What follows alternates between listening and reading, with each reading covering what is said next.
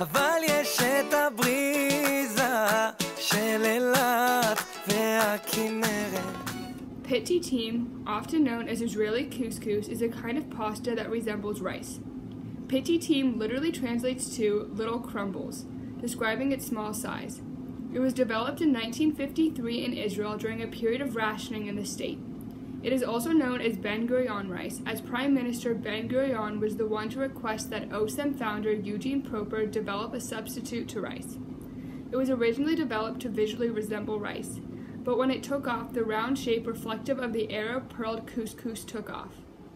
Ptitim is most popular with Israeli children, though it is often found in gourmet dishes outside of Israel.